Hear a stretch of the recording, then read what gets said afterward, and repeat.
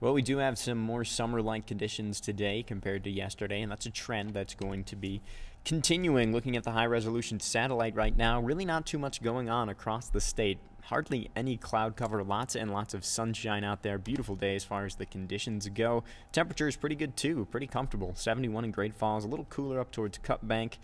And then Butte, actually, the uh, surprising warm spot at 79 degrees right now. Tomorrow, even warmer for pretty much everybody. We're looking at lots of 80s 82 in Helena, 84 in Great Falls, 81 for Lewistown. So, pretty much everybody seeing those summer like temperatures.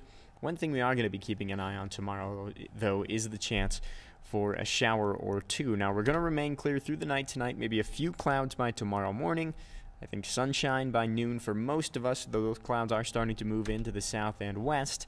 By 4 p.m., those clouds beginning to spread uh, across the area, and I think as we head into the early uh, to mid evening hours, that's when we start to see the chance for a few showers, maybe a thunderstorm, and those uh, rain showers do clear out as we head towards Friday. So I don't think we're going to pick up too much widespread uh, precipitation from these, but uh, that is something to keep an eye on. Thanks for watching.